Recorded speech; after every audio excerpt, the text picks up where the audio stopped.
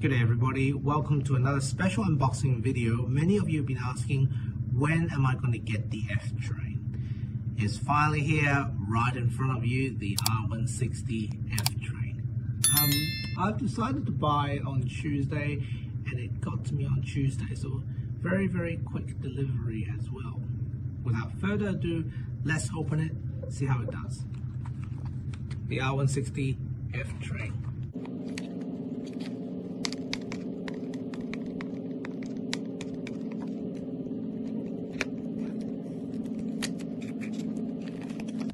Okay, so here it is.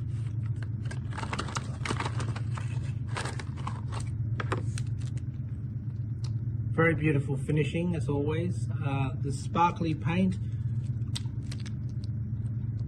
It is not as uh, sparkly as the others. If you look at the N train, I got a feeling that this finish of the N train feels a bit more sparkly. But um, it's very, still very, very nice indeed. And uh, love the little glitter on the side. This is an F local train, so not the uh, Diamond F train, the F Express. So I'll endeavor to try to get the F Express in the future. So there you have it, five R160 F local trains. Each and every one of them are as beautiful as each other on the finishes. Although I do have one thing that I would like to point out after I showed each and every one of you on the sides of the trains. You've gotta love the new sparkly finishes.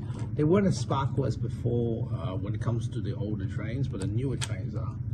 Now, what I'm about to show you is a little bit of flaws. Not having a go, but it's a little bit of flaw right there. You look a little bit closer, right there.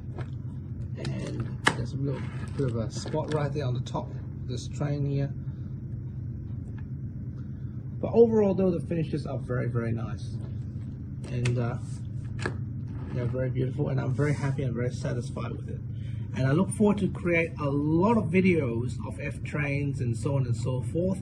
So I got the W train, got the Z train, got to buy a little bit more L trains, and of course got to get the E trains and the F diamond train as well. So without further ado, let's go for the testing see how they do.